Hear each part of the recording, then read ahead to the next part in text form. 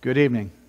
Welcome to our Christmas Eve service, Hilltop Baptist Church 2020. I can't believe this has been a year and it's been upside down and backwards and so different than what we've known before. But there's one thing we know for certain the Christmas story stays the same. So join us tonight as we spend some time in some carols and in reading some scriptures and celebrate the birth of Jesus Christ the gospel story of the birth of Jesus Christ. Luke chapter 1, verses 26 through 38. Now, in the sixth month, the angel Gabriel was sent by God to a city of Galilee named Nazareth to a virgin betrothed to a man whose name was Joseph of the house of David. The virgin's name was Mary. And having come in, the angel said to her, Rejoice, highly favored one, the Lord is with you. Blessed are you among women. But when she saw him, she was troubled at his saying, and considered what manner of greeting this was.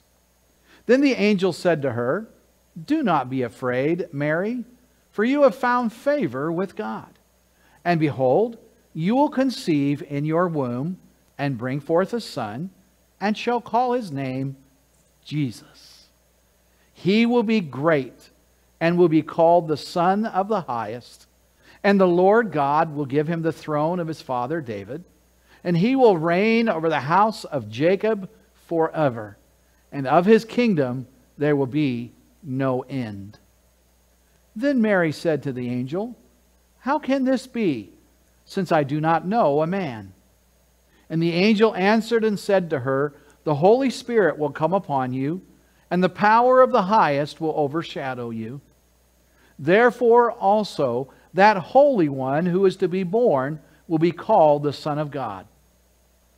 Now indeed, Elizabeth, your relative, has also conceived a son in her old age. And this is now the sixth month for who? Her who was called barren.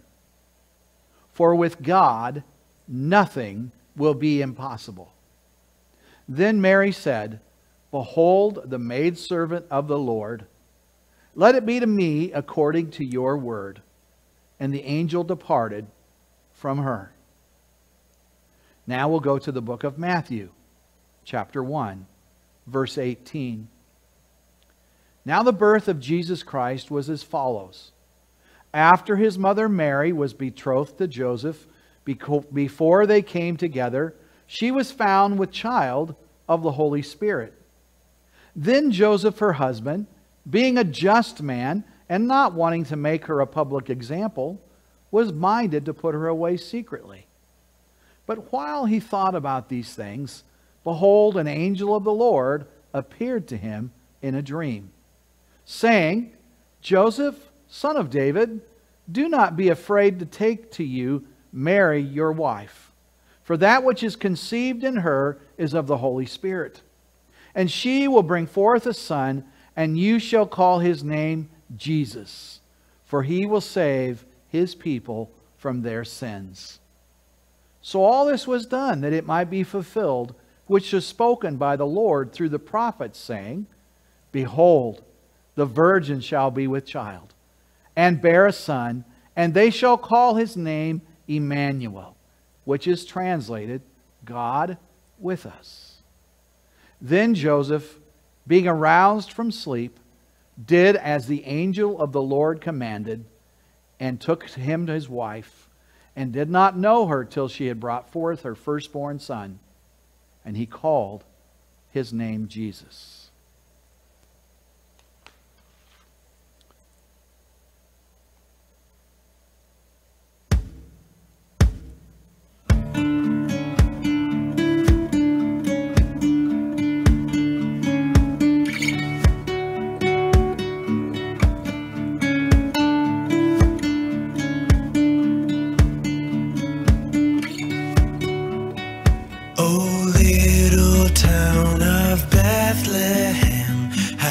till we see the light above thy deep and dreamless sleep. The silent stars go by, yet in thy dark streets shineth the everlasting light. The hopes and fears of all the years are met in.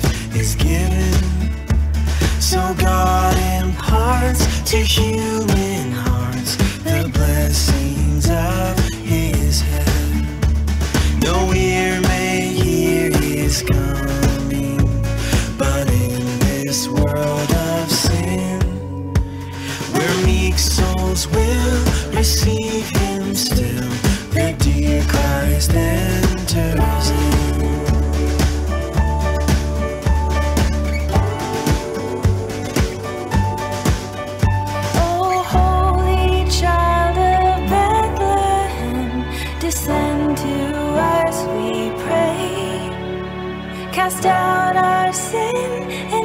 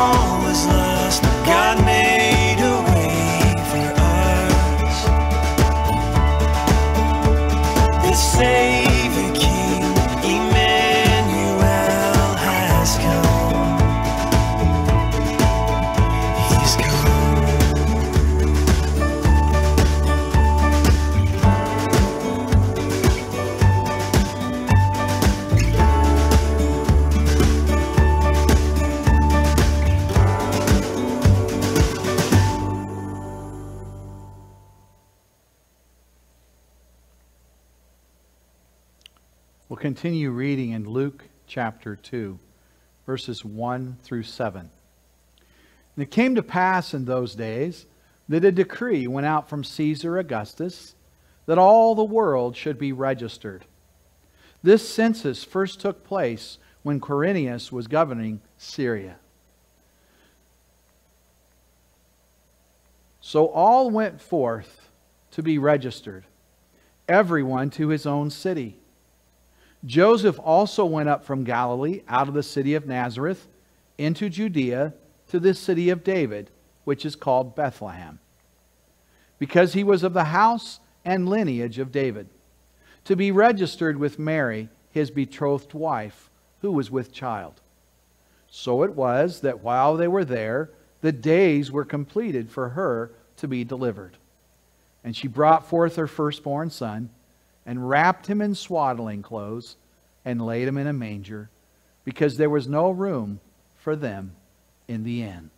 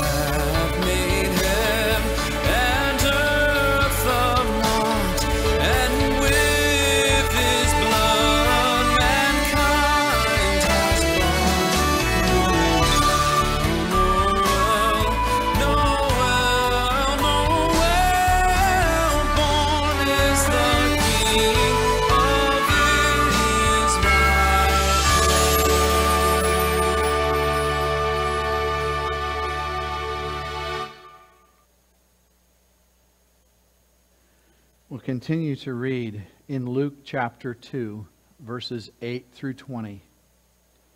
Now there were in the same country shepherds living out in the fields, keeping watch over their flock by night. And behold, an angel of the Lord stood before them, and the glory of the Lord shone round them, and they were greatly afraid. Then the angel said to them, Do not be afraid, for behold, I bring you good tidings of great joy, which will be to all people. For there is born to you this day in the city of David a Savior, who is Christ the Lord. And this will be the sign to you. You will find the babe wrapped in swaddling clothes, lying in a manger. And suddenly there was with the angel a multitude of the heavenly host, praising God and saying, Glory to God in the highest, and on earth peace, goodwill towards men. So it was when the angels had gone away from them into heaven that the shepherds said to one another, Let us now go to Bethlehem and see this thing that has come to pass, which the Lord has made known to us. And they came with haste and found Mary and Joseph and the babe lying in a manger. Now, when they had seen him, they made widely known the saying which was told them concerning this child. And all those who heard it marveled at those things which were told them by the shepherds.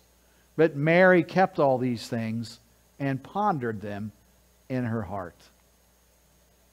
Then the shepherds returned, glorifying and praising God for all the things that they had heard and seen as it was told them.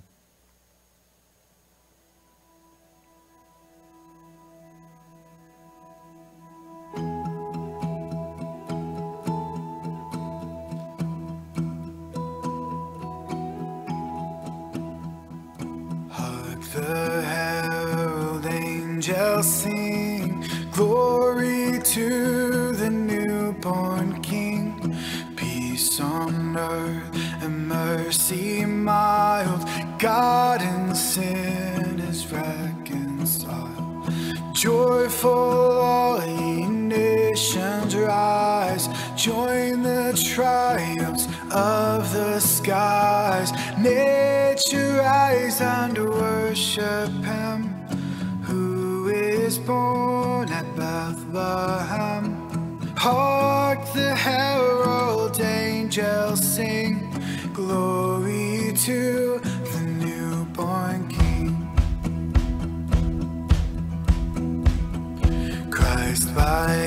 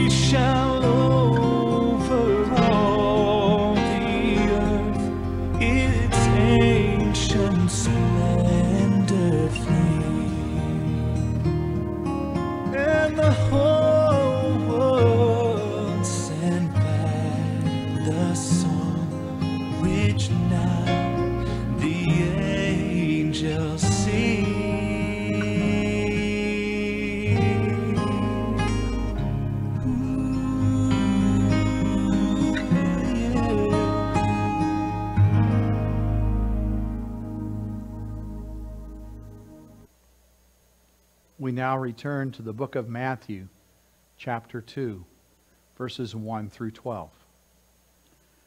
Now, after Jesus was born in Bethlehem of Judea in the days of Herod the king, behold, wise men from the east came to Jerusalem, saying, Where is he who has been born King of the Jews?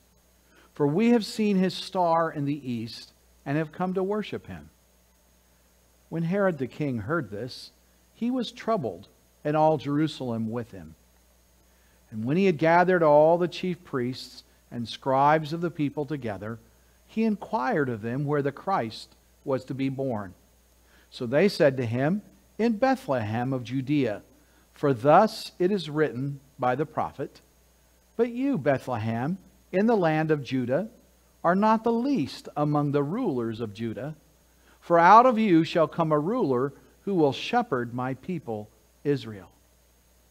Then Herod, when he had secretly called the wise men, determined from them what time the star appeared. And he sent them to Bethlehem and said, Go and search carefully for the young child.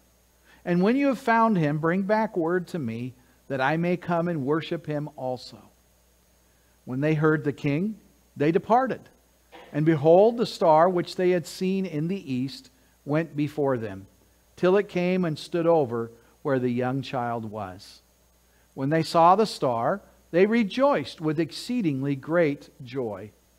And when they had come into the house, they saw the young child with Mary his mother, and fell down and worshipped him. And when they had opened their treasures, they presented gifts to him gold, frankincense, and myrrh. Then, being divinely warned in a dream that they should not return to Herod, they departed for their own country another way.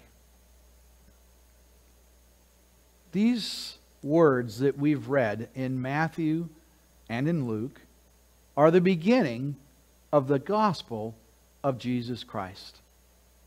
Jesus came to this earth as a baby, grew to be a man, and then, after ministering to people for three years, he went to the cross where he gave his life so that you and I might have redemption.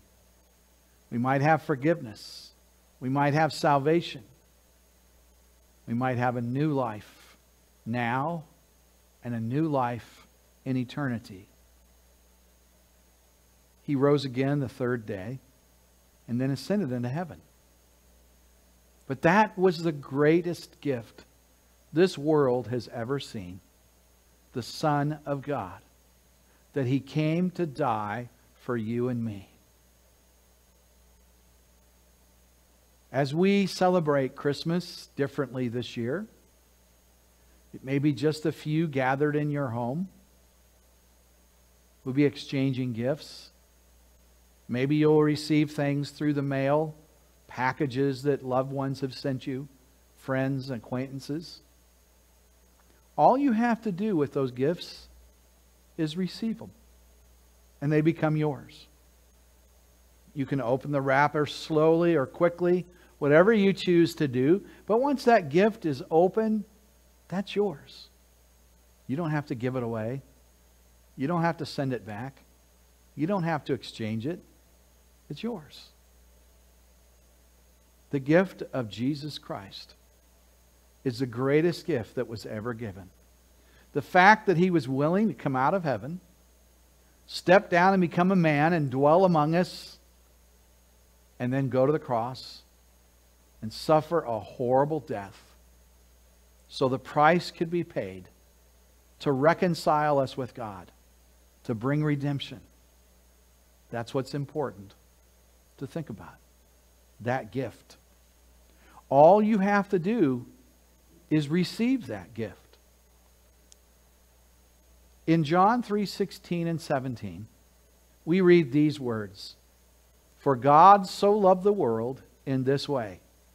He gave his one and only son, so that everyone who believes in him would not perish, but have eternal life.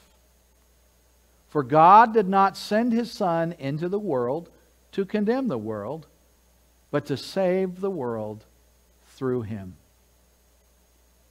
The greatest verse in the greatest book that contains the greatest story, the story of Jesus Christ. The gospel is a powerful thing that one would die for many. Yet that's what Jesus did for you and I. And to accept that gift is a very easy step. It's called the ABC step. One, you have to admit that you're a sinner. Every one of us is a sinner. The Bible tell us, tells us that all have sinned and come short of the glory of God. We've broken God's commandments from the youngest to the oldest. No matter what language we speak or what color our skin is, we're all sinners. And so we must, if we're going to receive the greatest gift, we must admit that we're a sinner. And then we need to believe that Jesus came to earth to die for us. That he was willing to take our place because sin brings death. And yet Jesus stepped up and said, I'll take that price. I'll pay that price. I'm willing to die for you. And that's what he did. If everyone in the world would simply believe in Jesus Christ, they too could have salvation. But sadly, not everyone has received this gift yet. The third stage that we must do is we must confess Jesus as Lord and Savior of our lives. We must say, I know that He's the Savior. I know that He came to die for me. And I want Him to come into my life, and I want Him to change my life and give me a new life now and a new hope for eternity. The Bible says that we will get everlasting life if we'll believe in Jesus Christ. And though my life might cease here on this world, it'll continue in heaven with the Heavenly Father because I'll be reconciled because of what Jesus did. The ABCs of receiving the gift, the greatest gift that's ever been given. if you would like to know more about salvation, I would encourage you to contact me through Facebook, through YouTube, and say, Pastor Walt, I'm interested in receiving the greatest gift that's ever been given. If you've already received that great gift, amen. I'm glad that you've trusted in Jesus. I pray for us all that at this time we'll remember the true meaning of Christmas. Yes, we may be celebrating a little bit differently this year, but we can always celebrate what Jesus did and his birth for us.